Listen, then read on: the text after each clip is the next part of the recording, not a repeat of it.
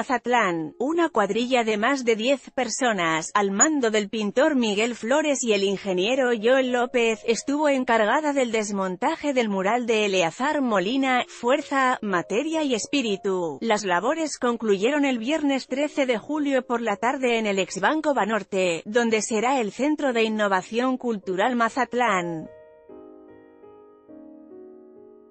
Las piezas fueron trasladadas en perfecto estado al Centro de Convenciones de Mazatlán la tarde del pasado sábado 14 de julio. Foto, Víctor Hugo Olivas. Finaliza labor el martes pasado inició la tarea de desmontaje, la cual concluyó satisfactoriamente el viernes 13.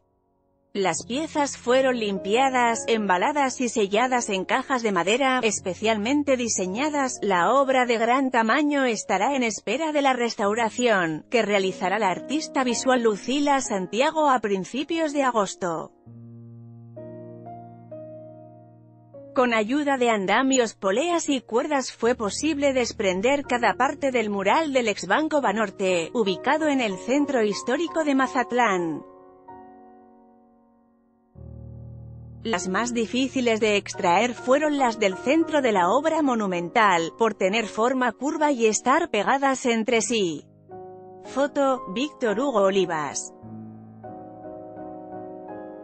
Trasladó ya una vez abajo, a las nueve piezas, en un principio se creía que eran diez pero durante el desmonte se percataron que son nueve, se les hizo el proceso requerido con el fin de prepararlas para su traslado.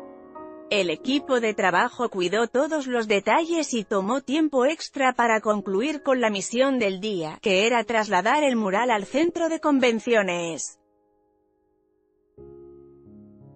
Poco a poco fueron sacando cada pieza del exbanco Banorte para subirlas a un camión especial. Cada una de las piezas se bajó con la ayuda de ocho personas, una vez que llegaron al centro de convenciones.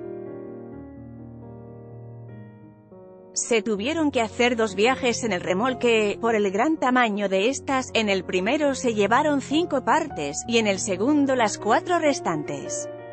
En esta nota, Mural Eleazar Molina Gómez Desmontaje Traslado Centro de Convenciones de Mazatlán